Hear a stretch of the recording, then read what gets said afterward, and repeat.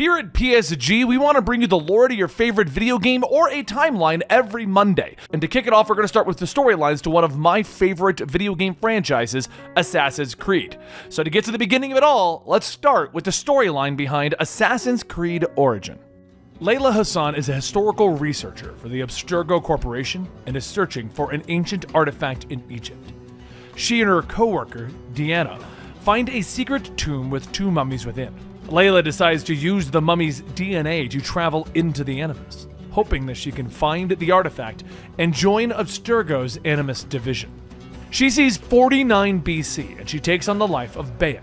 A Medjay, Bayek protects the Siwa Oasis. However, Bayek and his son are kidnapped by five strange men in masks and brought to a vault beneath the Temple of Amun. Bayek is given the Apple of Eden in order to open a secret vault. Bayek and Khemu are trying to escape when Bayek accidentally kills his son while fighting one of the masked men.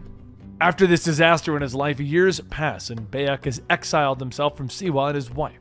He continues to track down the men that he believes are responsible for his son's death. And he finds the first, a man named Rudjek, who goes by Heron. But after the man's death, he learns that the priestess Siwa was known as Ibis and is torturing people in hopes of discovering how to open up the secret vault. After Bayek kills Ibis, he travels to the city of Alexandria, where he meets up with his wife, Aya. Aya reveals that she has already killed two of their other targets, those known as the Vulture and the Ram. With only one target remaining, Aya continues to search for the man known as the Snake with the aid of some very powerful friends that she has made within the city.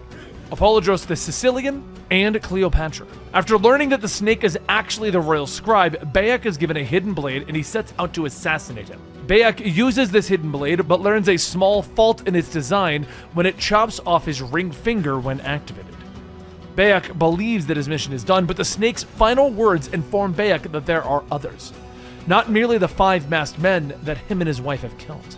Bayek meets with the Sicilian and Cleopatra, learning more about the estranged masked men. The disposed queen informs Bayek that the five men that he killed belong to a group known as the Order of the Ancients, and the Order disposed her from the throne and plans to rule over Egypt from the shadows. The queen points Bayek to four new targets the hyena, the crocodile, the lizard, and the scarab. As he sets out to kill these members of the Order, Aya travels to convince the great Roman general Pompey to join Cleopatra and help aid them in taking back the country. Meanwhile, in the real world, Layla comes out of the Animus to discover that they are under attack by Abstergo, who believe that they've gone rogue when they failed to check in. After Deanna is killed, Layla manages to kill the rest of the mercenaries. She then returns to the Animus, vowing revenge against her former employers.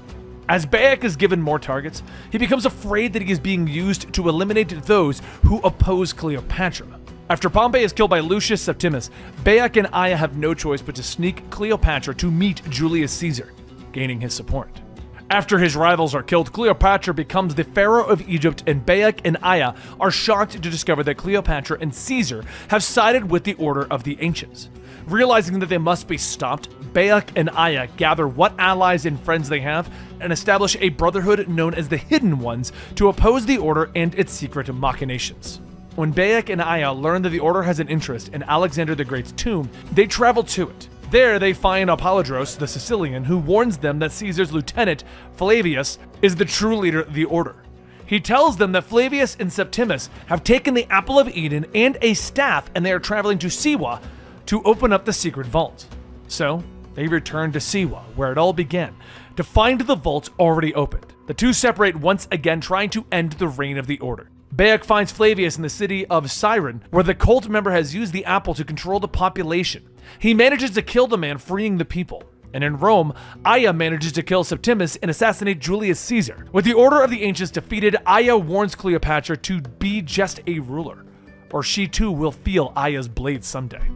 They meet up once again, but Bayek and Aya decide that there has been too much bloodshed in their lives, and they decide to part from each other. They decide to continue the work of the Hidden Ones, protecting the world around them. And with that, the couple goes their separate ways, beginning to build and train new assassins.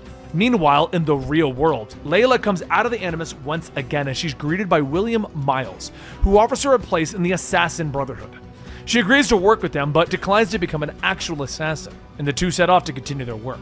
In the past, going into the DLC of the series, Four years go by, and Bayek travels to where the leader of the local branch of the Hidden Ones has requested his aid.